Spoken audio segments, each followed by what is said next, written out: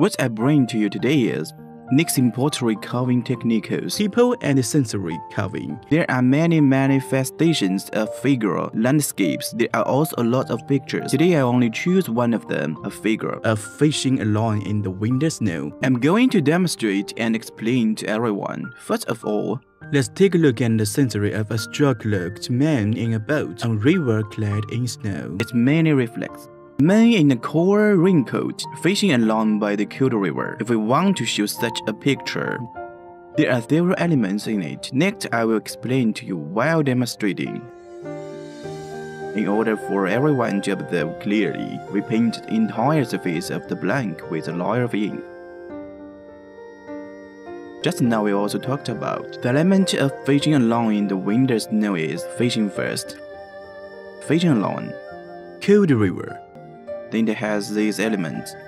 We can think of a boat. There is a man fishing by the river. And remember the cold river. Then the plant next to it should be red. So it can be too large for some plants when we are carving. First of all, we have to determine these elements of it. First, when we want to carve, we first carve a boat. Carve the hull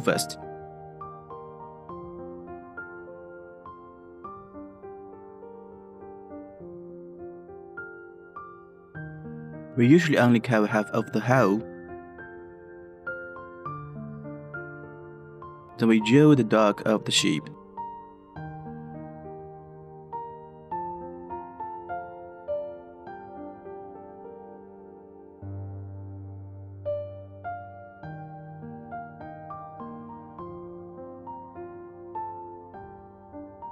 No figure has appeared yet.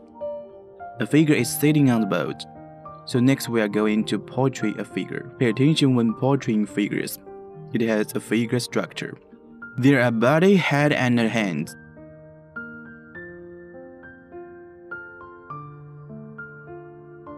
Let's press this hand first. Then to the head of the figure. His body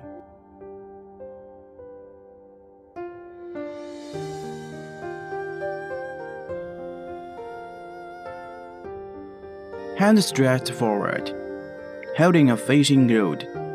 The fishing rod stretches forward, is higher than the stretched forward. After taking this boom, we can portray it. Below the boom is its hanging wire, fishing line. We simply curve it. Next is to express the feeling of this water surface.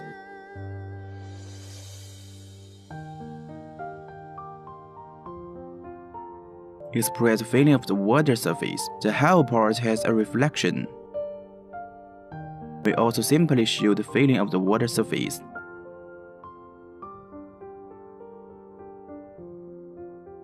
Generally, we don't show the stones so meticulously. Maybe it's leaning on the shore and so on. With a man holding a fishing rod by the river. Then there are some rays along the river. We need some rays.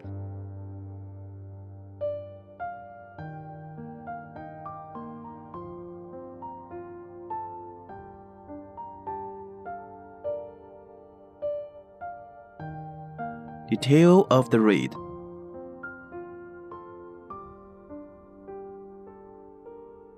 We want to show the flower of the reed.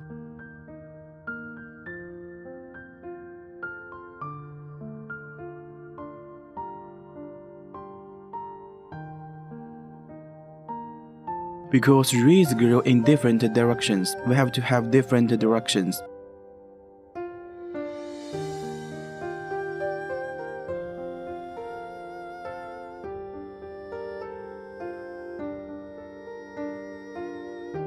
Reed basically we express it clearly.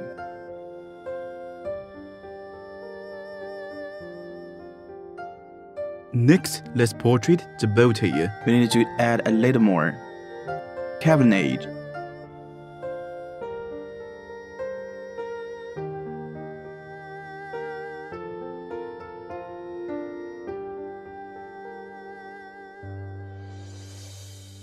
The whole picture is basically finished like this.